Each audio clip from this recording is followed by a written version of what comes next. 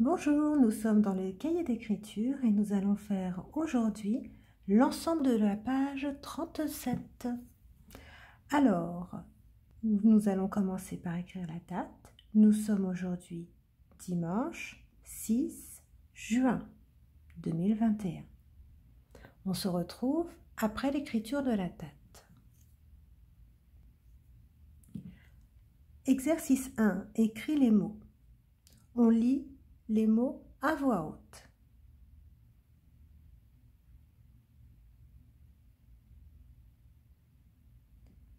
Je lis à mon tour poussin, simple, peintre.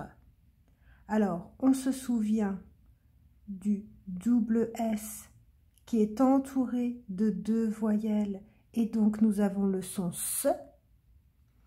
On se souvient que IN et IM font le son 1. Et puis nous avons EIN, trois lettres qui font un seul son. On a besoin de trois lettres pour faire un seul son. Le son 1.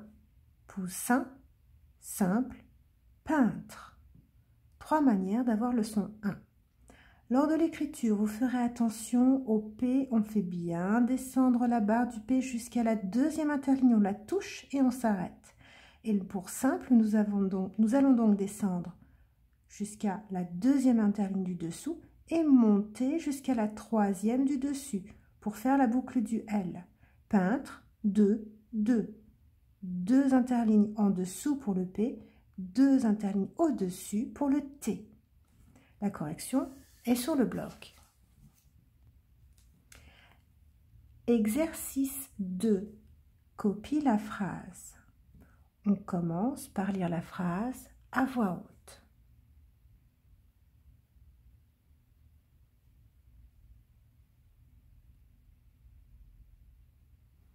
Je lis à mon tour. Le lapin mange le pain dans la main. On lira chaque mot, chaque syllabe et chaque mot complet après les avoir écrits. On fait attention au L qui doit aller jusqu'à la troisième interligne, même hauteur que la majuscule. La barre du P qui descend jusqu'à la deuxième interligne en dessous, comme la boucle du G. Mange, on retrouve le je de fin de mot. Voilà, encore un L encore un P, le D peut être à la même hauteur qu'un T, donc deuxième interligne.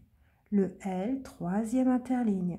Lorsque l'on attaque l'écriture d'une grande lettre ou d'une lettre qui descend, on se souvient automatiquement jusqu'où on doit aller. On anticipe son geste. Le modèle de correction est sur le blog. Exercice 3 copie la phrase, on lit à voix haute.